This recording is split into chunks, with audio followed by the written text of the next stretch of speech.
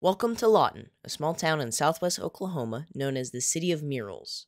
For a couple of years now, groups of artists have painted murals on all types of buildings. They have painted people from pop culture, movie characters, and other influential people. One of the artists, Justin Hackney, is a bit newer to the scene. During lockdown boredom, he found a love for painting. Him and his buddy painted many characters from cartoons and Hollywood films on the side of his movie theater.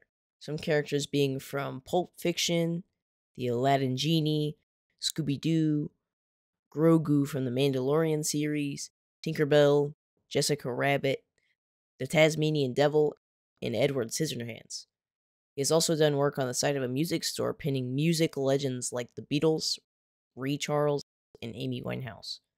Amy Winehouse being his favorite mural that he has painted so far.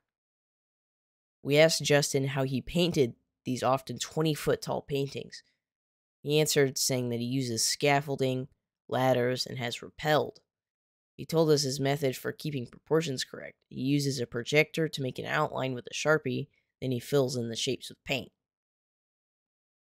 He also said that when painting something really large, it can be difficult to keep the proportions correct when up close. But when you step 20 feet back, it looks normal. You can see this especially well with the Edward Scissorhands mural. He is currently working on a mural called Medical Superheroes to pay homage to the frontliners during the pandemic. Reporting in Lawton, I'm Jack Traughber for the Epic News Network.